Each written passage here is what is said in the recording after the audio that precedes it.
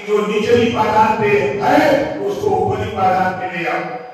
बाबा साहब डॉक्टर अंबेडकर जी ने भी वही बात कही, वही बात बुद्ध जी ने कही।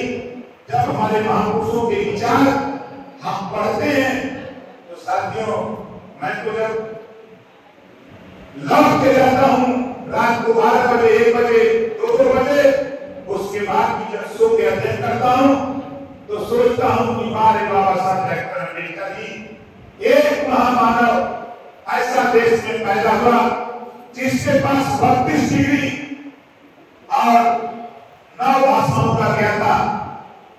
और ऐसे महामानव ने ऐसा संविधान दिया कि उस संविधान की सिर्फ़ पूर्ण रूप से संविधान लागू हो जाए तो मैं नारे के साथ कहता हूँ, भारत सोने की चिड़िया हो जाएगा संविधान पूर्ण रूप से लागू हो जाए बाबा साहब ने कहीं किसी के भेदभाव नहीं सबको समान अधिकार सबको शिक्षा सबको स्वास्थ्य सबको रोज़गार सबको नौकरी हर सब सभी जाति धर्म के लोगों की व्यवस्था बाबा साहब ने कराई आज साथी हम आपको बधाई देते हैं भाई रामानंद भाव जी को जो पूर्व विधायक हैं पार्टी के हमारे प्रदेश के नेता हैं और गोरखपुर मंडल के कोऑर्डिनेटर हमने इनसे कहा कि यार देखो लोग हमसे दूर क्यों रहते हैं?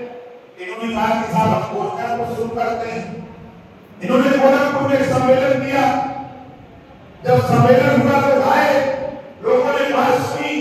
लोगों ने कहा कि नहीं भाई, इस नेता के साथ रहना चाहिए। तो मैंने इनसे कहा कि आप जब फैजाबाद का कार्य करते हो, इन्होंने फैजाबाद का कार्य कर कराया मैंने इनसे कहा कि चलो, हम आपको ले सकते हैं एक जगह।